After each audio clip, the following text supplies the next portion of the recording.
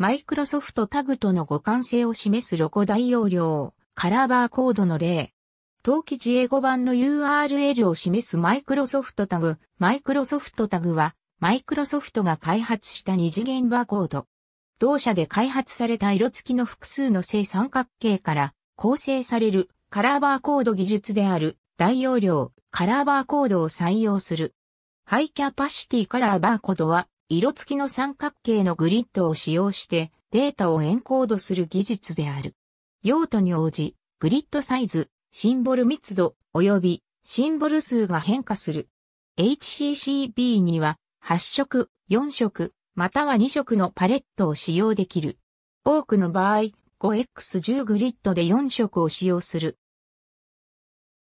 マイクロソフトによると、標準的な市販のプリンターとスキャナーを使用したテストでは、1平方インチあたり約3500文字を記録した8色 HCCB を読み取ることができた。マイクロソフトタグでは原則、短縮 URL に類似した機械で読み取り可能なウェブリンクを使用する。読み取られるとタグアプリケーションはその HCCB データをマイクロソフトのサーバーに送信し、発行元の意図した URL を返す。タグリーダーはユーザーのモバイルブラウザを適切なウェブサイトに誘導する。このリダイレクトにより、マイクロソフトはユーザーを追跡し、その分析結果をバーコードの発行元に提供することもできる。このような方法により、白黒のピクセルを使用する QR コードと比較して、より多くの情報を小さなスペースで記録することができる。このプラットフォームがリリースされたとき、関連する分析結果の提供サービスとともに、商用及び非商用の両方でタグの作成は登録無料の Windows Live アカウントを取得すれば無償で利用することができた。2013年に新しいアカウントを作成するプロセスがスキャンバイに移行され、スキャンリフからも同じ基本機能を備えた無料プランが提供されると発表された。追加機能は有償で提供される。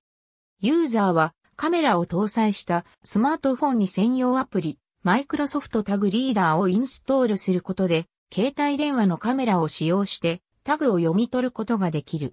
なお、このアプリは Windows モバイル、Android、iPhone、BlackBerry、シンビアン OS を搭載した携帯電話向けに無料で公開されていた。なお、同社で初めて開発された Android アプリ、また2番目に開発された iOS アプリとなった。また、ユーザーオプションとして、携帯電話の GPS を利用し、HCCB データとともに座標データを送信し、ユーザーの現在地にあった情報を提供することができる。例えば、レストランの広告の場合、ユーザーを最も近い店舗へ案内することができる。企業にとっても二次元バーコードを使用して従来のマーケティングメディアをオンラインで情報にアクセスするためのゲートウェイに変換できるというメリットがある。このように、ダグはあらゆるメディアからウェブサイト、またはオンラインメディアへのゲートウェイとして適用できる。マイクロソフトタグリーダーを使用すると、携帯電話のカメラでタグを読み取り、テキストや URL のほか、ベカードといったオンライン上にある写真やビデオ、連絡先などのあらゆる形式の情報にアクセスできる。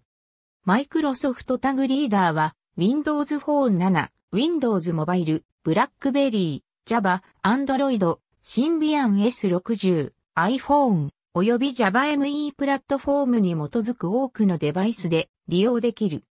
開発当初から国際機関に無償で技術をライセンスするなど広く普及に向けた活動が行われていたが、マイクロソフトは2013年8月19日、マイクロソフトタグを2015年8月19日に終了すると発表。